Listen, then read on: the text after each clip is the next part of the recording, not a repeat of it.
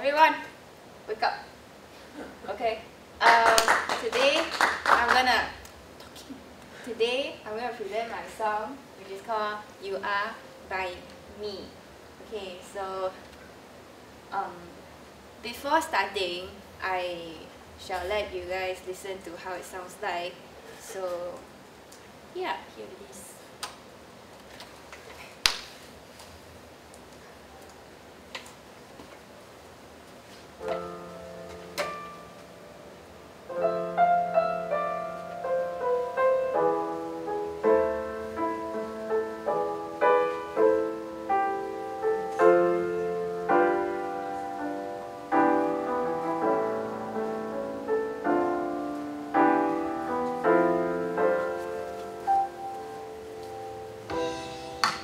Roses are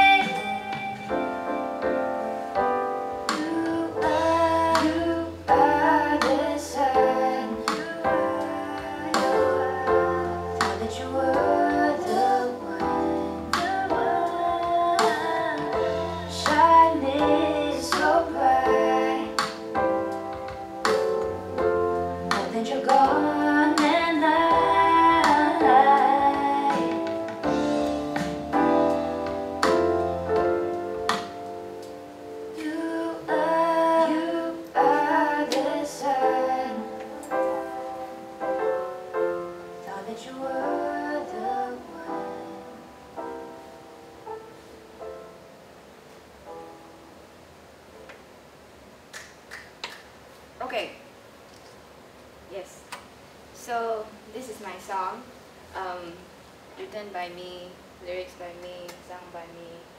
So yeah, um, my the genre of my song is R and B. So um, actually, it's more. It's uh, I got my inspirations from very different and contrast genres. So it can vary from Marvin Gaye, the, the time where soul music is like um, uh, the trend, until Tamia, uh, which is really the R&B, which is the trend right now. So I combine emotive vocals from soul music, and I borrowed R&B groove, and that's how my song came. Um, and it's also very pop influence as well. Uh, so yeah, this song basically I I didn't stick to one specific genre, but I got inspirations from different genres that I like, and I put it together. Yeah, and the form of my song is intro, and A B A B B, and it fades out, so it doesn't have a bridge. Uh, tempo is at 82 beats per minute. Time signature 4 4, and in key uh, C major. Uh, yep. And then these are the main four elements that I had in mind when I started composing, uh, I always started with the melody because melody is king. And um, so I started out with a hook. So I had a uh, da da da da. I keep I had I had the hook and then I slowly had my chorus melody first and then I came out with the chords and I nailed down all the basic chords at the strong bass.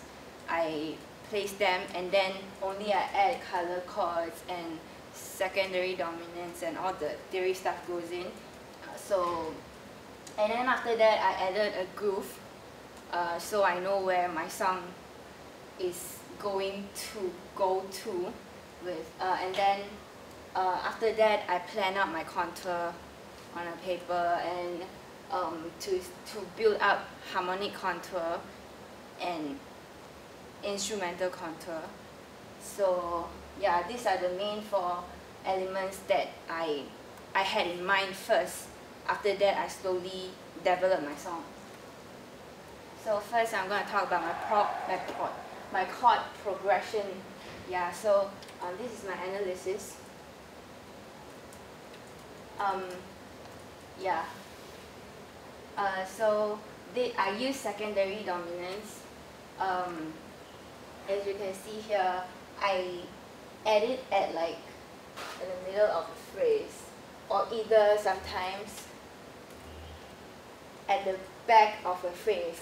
Uh, I use secondary dominants to increase harmonic rhythm. Um, yeah, to lead it to like the strong chord. And then I also use primary dominants, uh, which is right there, 5, 7 to C major. And then I have a modal interchange right here um, to add some spice to the song. I had a flat 6 major 7. And then for the chorus, um, I started with a 4 major 7 instead of everyone uses a 5 or a 1 um, because I wanted a more blue element in it. And then um, there are also second, more secondary dominants I use a lot.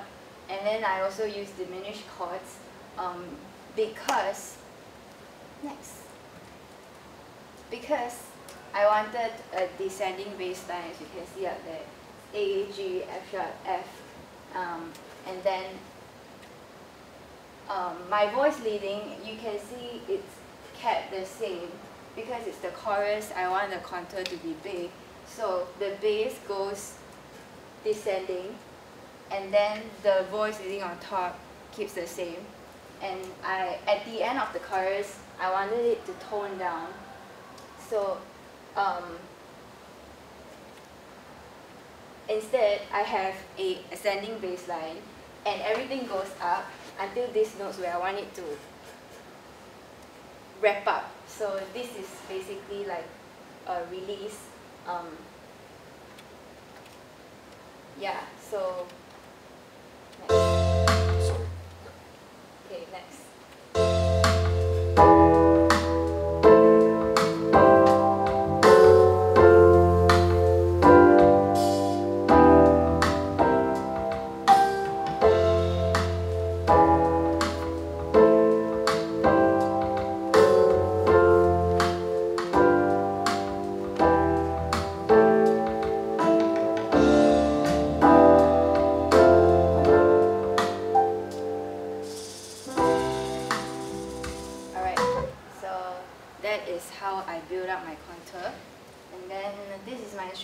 Instrument instrumentation.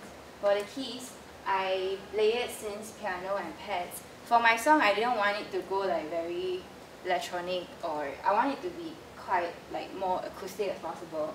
The synths and pads are there to just um, support it. And then um, I also have my bass section where I have a bass guitar and uh, a synth kick to um, to keep up with the bass. And then um, my vocals, lead vocals and background vocals, quite obvious. And then I have a rhythm section. I had drum set, shakers, tambourine, and chimes. And yeah, my rhythm section, the the shakers I got it from like real recording, so because I find it more authentic. So yeah, my rhythm section sounds like this.